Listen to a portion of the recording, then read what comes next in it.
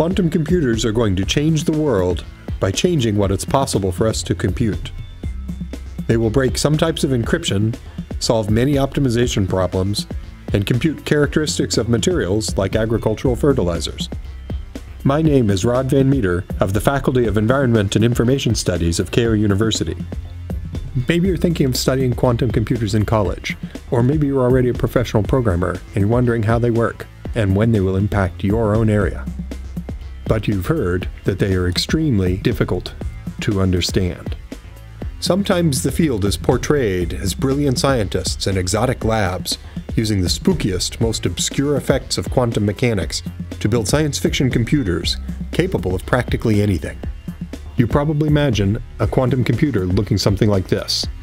In fact, anyone with a grasp of high school mathematics can understand quantum computers.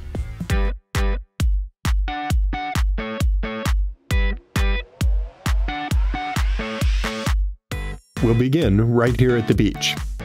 If you understand how waves work, you are well on your way to understanding quantum computers.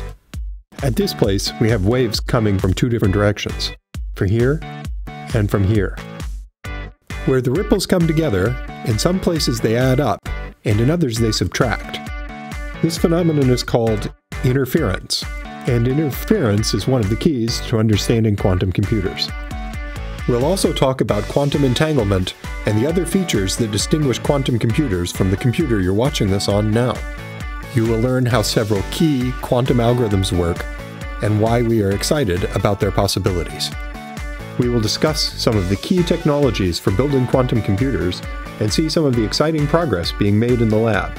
Before we finish up, you will also learn about the budding quantum information technology industry, about the big companies, startup companies, and venture funds seeking to translate the ideas from the lab to machines that solve some of mankind's most pressing problems and make the world a better place.